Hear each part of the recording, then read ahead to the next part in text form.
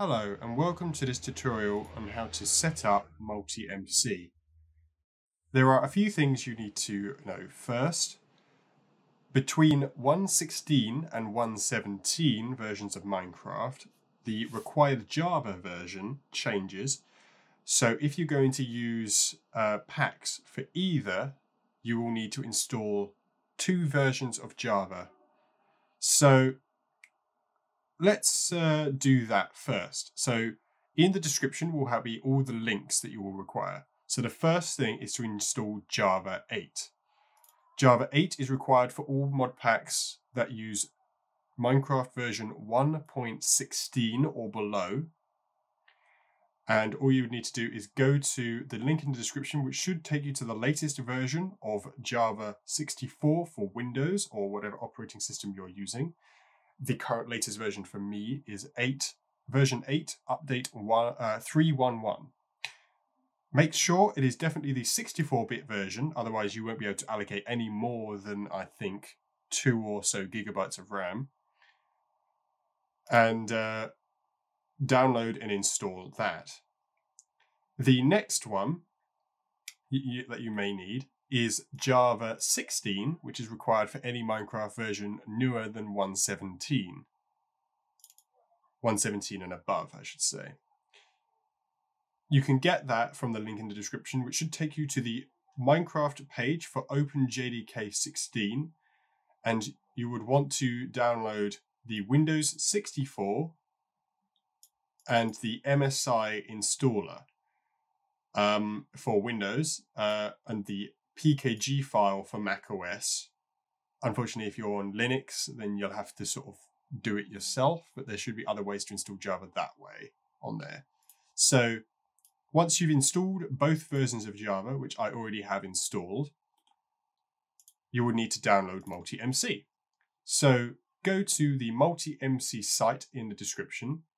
Then you can either click the download and install or scroll down to get to the download section and you want to do the stable versions, don't need to do the developer version, and download the version for your operating system.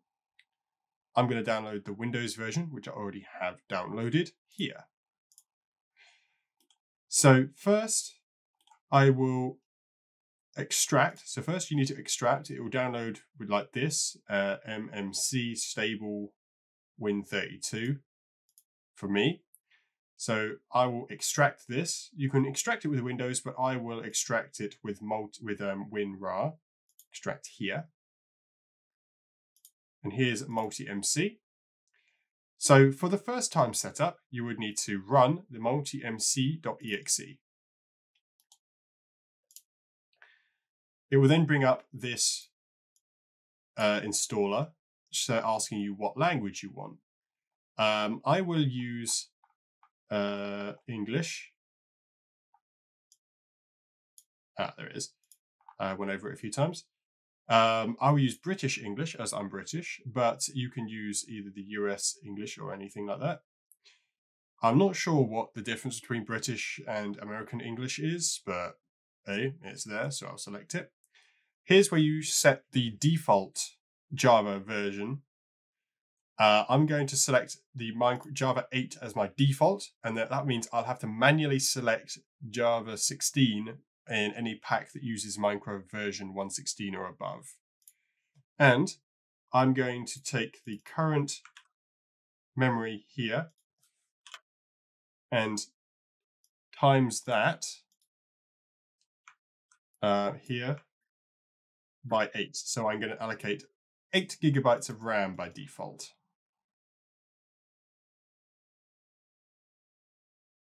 There you go. And that's going to be my default. Next, I'm not going to allow analytics, but you can if you like. Finish. So here's the default page. So the first things that we need to do is go to settings. And then I go to uh, Java, make sure everything is set up correctly, which it is. And I like to change the interface to use the dark theme, and that will apply when you close the tab. Then go to Profiles at the top left, and then go Manage Accounts. Here you will add your account. So I will add my Microsoft account. Click that. And you'll need to copy the code. If you're using a Mojang account, it will just ask for your username and password. I will put that in there. And then put my password in here. And then yes to allow it. There you go. It will be added to the list. Uh, if you're using Microsoft account, you will be notified that a new app is using your account. And that's basically your multi-MC setup. In most cases, um, there's a bit of a weird thing going on at the minute where the auth service always shows us offline, but that's fine.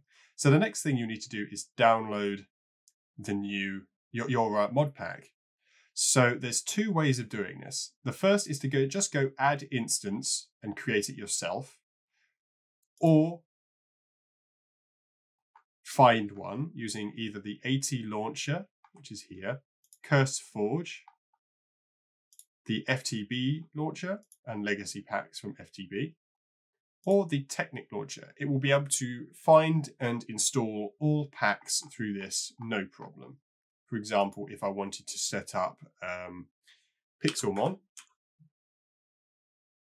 I would just put that in and search, and here's all the Pixelmon packs, and that will be installed fine. It also has little icons and stuff like that. And um, you can also set per session. But I'm going to install one of my own packs. So I have my Midnight Ver Midnight Verse pack, version 1.1. I'm just going to drag it onto here you can also, instead of dragging it, you can also just go add instance and select the zip file here. You can also just download it from the link as well. So drag that. It's going to download it here. You can change the different things, add them to groups and stuff, but I'm not going to do that in this case. So it's going to download if it's going to do it from your link and extract. So here it is. You can do certain things. For example, I can go to edit instance and change different sections if I need to. For example, if this is a 117, for example, if I add 117.1, it won't launch with the 116, uh, a 1.8 version of, of Java, I mean. So, oops, wrong button. I'd have to edit instance, go down to settings, tick Java installation, so it uses, so it overrides the default, and then auto detect and select Java 16. And then click OK. So now it will use that. You can also increase or change the amount of memory on a per um, session basis if you wish. Um, you can also change things like game windows and stuff and all workarounds, depending on if you're using an older version. So close that. And if I load up Java uh, 117, for example, that one will load fine. So the first, when you launch any Minecraft version, if you've never launched it before, it will have to download the assets from the Mojang servers. But luckily, it stores them in a sort of a global one and just points to them instead of doing it alternatively, having a new Minecraft installation every time, which is fairly nice. So there we go. It's going to load up the pack now, the um, vanilla version of Minecraft. Like so. Let's click that. And then I'm going to launch this. You can change it. Another one you can change is if you go to user interface, you can change either by sort by name or sort by last launch, which I personally prefer. So if I launch this,